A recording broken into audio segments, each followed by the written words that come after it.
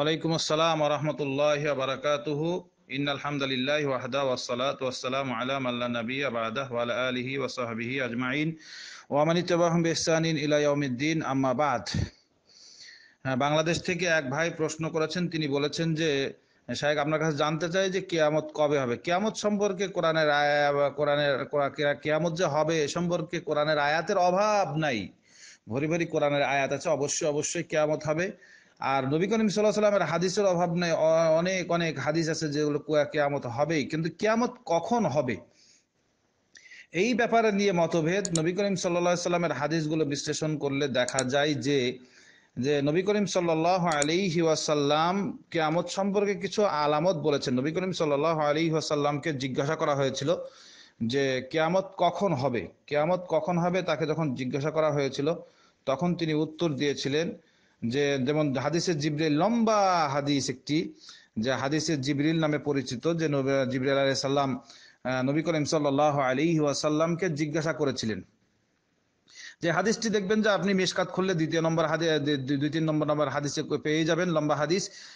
নবী হাদিসটা আমার ইবনে খত্তাব রাদিয়াল্লাহু তাআলা আনহু বর্ণনা করেছেন। তিনি বলেন যে জিবরাইল আলাইহিস সালাম আমার নবী করিম সাল্লাম শেষ বেলা জিজ্ঞাসা করল, ফাখবিরনি আনিস সাআ যে, অতঃপর আপনি কি করেন? আমাকে কিয়ামত সম্পর্কে কিছু খবর দিন। কখন কেয়ামত হবে?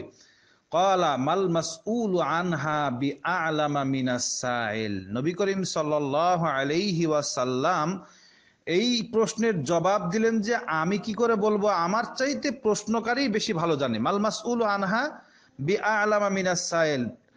যে যাকে প্রশ্ন করা হয়েছে, তার চাইতে প্রশ্নকারী ভালো জানে। অর্থাৎ আমার চাইতে প্রশ্নকারী ভালো জানে। কলা আখবিরনি আনিসান আমারাতিহা তাহলে কি করেন? আমাকে কিছু আলামত আলামত বলে দিন। কেয়ামত সম্পর্কে যখন জানেন না কেয়ামত কবে হবে, তখন যখন জানেন না, তখন আপনি কেয়ামতের কিছু আলামতগুলো আপনার আমাকে বলে দিন। তো নবী করিম সাল্লাহ আলী আসাল্লাম তখন আমানত আলামতগুলো বলছেন, আন্তালিদাল আমাতু রব্বাতহা। নবী করিম সাল্লাম আমানতগুলো বলতে গিয়ে বলছেন, দাসী যেমন আপন মনিবকে জন্ম দিবে এবং যাদের দাসী আপন মনিবকে জন্ম দেবে মানে এটা অনেক ব্যাপার হতে পারে যে দাসীর পেট থেকে মনিবের জন্ম হবে একটা ব্যাপার, আর নালে মায়া, মা বা মা মায়ের সাথে মানুষ দাস দাসের মতো আচরণ করবে একটাও হতে পারে। তো এই ব্যাপারগুলো নিয়ে অনেক ব্যাখ্যা এসেছে যে, যেমন মা কাজের মেয়ের সাথে আচরণ করা হয়, সেভাবে মায়ের সাথেও মানুষ আচরণ করবে, এটাও হয়ে যেতে পারে।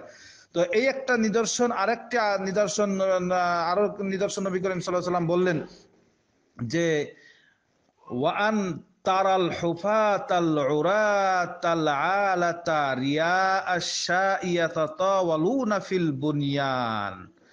তারপরে কি হবে? এবং যাদের পরনে কোনো কাপড় ছিল না, পায়ে জুতা ছিল না, তারা ছিল খুব দরিদ্র, নিম্ন শ্রেণির মানুষ তারা মাঠে ছাগল চড়াতো। এমন মানুষগুলি উঁচু উঁচু প্রাসাদ, অট্টলিকা, বিল্ডিং তৈরি করে পরস্পরে অহংকার করবে। হাদিসটি বুখারি, মুসলিম এসেছে, বাংলা মেশকাত হাদিস নম্বর দুই। দুই নম্বর মেশকাতে আপনি হাদিসটি খুঁজে পেয়ে যাবেন যে নবী করিম সাল্লাম বললেন যে, তিনি বলছেন যে কেয়ামত কবে হবে তিনিই বলতে পারলেন না। তো তিনি জানেন না কেয়ামত কবে হবে আর আমাদের অনেক হুজুরে এখন বলে ফেলছে যে কেয়ামত পঞ্চাশ সালে কেয়ামত হয়ে যাবে চল্লিশ সালে কেয়ামত হয়ে যাবে, এমক সালে কেয়ামত হয়ে যাবে। যদিও তারা অনেকেই সহি আকিদার মানুষ, কোরআন এবং সুন্না থেকে কথা বলছেন, কিন্তু কেয়ামত কর কবে হবে এই ব্যাপারে নবী করিম সাল্লাহ সাল্লাম নিজেই বলে যান নাই। বরং নবী করিম সাল্লাহ আলাইসাল্লাম আরও অনেক আলামত বলে গেছেন। যেমন নবী করিম সাল্লাহ সাল্লাম থেকে হাদিস আন আনা সিন কল কল রসুল্লাহ সাল্লাহ ওয়াসাল্লামা বুইস্তু আনা ওয়াসাআতু কাহাতাইন।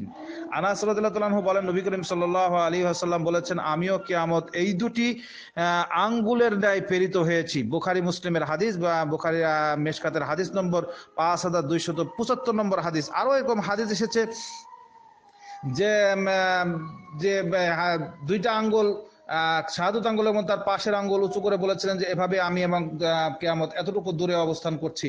তারপরেও কিন্তু সাড়ে চোদ্দশো বছর চলে গেছে। তারপরে আনাসিব মালিক রদুল্লাহ আরেকটি হাদিস এসেছে হাত্তা ফিল আল্লাহ আল্লাহ। যে আনাস বলেন, নবী সাল্লাম বলেছেন, কেয়ামত তত্ত্ব তখনই সংগঠিত হবে যখন জমিনে আল্লাহ আল্লাহ বলার কোনো মানুষ থাকবে না। মুসলিম হাদিসটি বর্ণনা করেছেন পাঁচ হাজার দুইশত বিরাশি নম্বর হাদিস। এই যখন মানুষ আল্লাহকে স্মরণ করবে না, তার ইবাদত করবে না, তখনই কেয়ামত কায়েম হবে। কারণ আল্লাহর জিকির ও ইবাদত হচ্ছে দুনিয়ার দায়িত্ব স্থায়িত্বের প্রমাণ। প্রকাশ থাকে যে আল্লাহ আল্লাহ বলতে লা ইল্লাল্লাহ অর্থাৎ শিরিক মুক্ত মানুষ থাকবে না কালেমা পড়ার মতো মানুষ থাকবে না শিরিক যুক্ত মানুষ থাকবে। তো এখন বর্তমান জামানে আপনি যদি একটু লক্ষ্য করেন যে শিরিক মুক্ত মানুষের কিন্তু এখনো অভাব নাই যারা এখনো পর্যন্ত শিরিক করে না শিরিককে ঘৃণা করে শিরিক করতে যায় না আল্লাহকে ডাকে কালেমার উপরে অটল আছে প্রতিষ্ঠিত আছে এরকম মানুষ পৃথিবীতে অভাব নাই তারপরে কিভাবে বলে যে পঞ্চাশ সাল ষাট আশি সালে এই এই শতাব্দী শতাব্দীর মধ্যে কিয়ামত হয়ে যাবে এটা কিভাবে সম্ভব তা বুঝতে পারছি না আরো আরো একটা হাদিস এসেছে হাদিসটি বিশ্লেষণ করলে বুঝতে পারবেন যে আহ عن عبد الله بن مسعود قال قال رسول الله صلى الله عليه وسلم لا تقوم الساعة ইল্লা আলা শিরারিল খলক।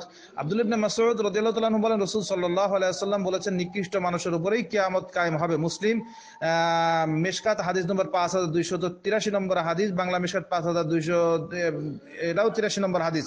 তো কিয়ামত কিয়ামতের এগুলো হচ্ছে শেষ শেষ আলামত। আরেকটি দিকে লক্ষ্য করলে বুঝতে পারবেন যে কিয়ামত হবে যে এই কিয়ামত হওয়ার যে বড় বড় নিদর্শন আছে বড় বড় নিদর্শন আছে দশটি। দশটি বড় বড় নিদর্শন নিদর্শন যতক্ষণ পর্যন্ত প্রকাশ না পাবে, ততক্ষণ পর্যন্ত কিয়ামত সংগঠিত হবে না। আর এই দশটি বড় বড় নিদর্শন মুসলিম শরীফে হাদিসটি বর্ণিত হয়েছে পাঁচ হাজার মেশকাতের পাঁচ হাজার দুইশত তিরিশ নম্বর হাদিস, যে হাদিসটি হুজাই ফরদুল্লাহ আনহু বর্ণনা করেছেন। হুজাই ফরদুল্লাহ বলেন, একদা আমরা পরস্পরে কিয়ামত সম্পর্কে কথাবার্তা বলছিলাম, এমন সময় নবী করিম সাল্লাহ আলী ওয়াসাল্লাম আমাদের নিকট এসে জিজ্ঞাসা করলেন, তোমরা কি সম্পর্কে আলোচনা করছ? আমরা বললাম যে, আমরা কেয়ামত সম্পর্কে আলোচনা করছি। তখন নবী করিম সাল্লাহ আলী ওয়াসাল্লাম বললেন দশটি নিদর্শন না দেখা পর্যন্ত কেয়ামত কায়েম হবে না। আর তা হচ্ছে ধোয়া বা এক নাগাড়ে চল্লিশ দিন পূর্ব হতে পশ্চিম প্রান্ত পর্যন্ত বিস্তৃত থাকবে। দুই, দাজ্জাল বের হবে। তিন, চতুষ্পদ জন্তু বের হবে। চার পশ্চিম আকাশ হতে সূর্য উদিত হবে। পাঁচ ঈসা আলাই ঈসা ইবনে মারিয়াম আকাশ হতে অবতরণ করবে। ছয় ইয়াজুজ মাজুজ বাইর বের হবে। সাত পূর্বাঞ্চল, পূর্বাঞ্চলে ভূমিধস হবে। আট পশ্চিম অঞ্চলে ভূমিধস হবে। নয় আরব উপদ্বীপে উপদ্বীপে ভূমিধস হবে। সর্বশেষ দশ অবশেষে ইয়ামান হতে এমন এক আগুন বের হবে যা মানুষকে তাড়িয়ে একটি একটি সমাবেত হওয়ার স্থানে নিয়ে যাবে। অপর এক বর্ণনায় আছে যে, আদর ইডেন, এর অভ্যন্তর হতে আগুন বের হবে যা মানুষকে সমবেত হওয়ার স্থানের দিকে তাড়িয়ে তাড়িয়ে দিবে।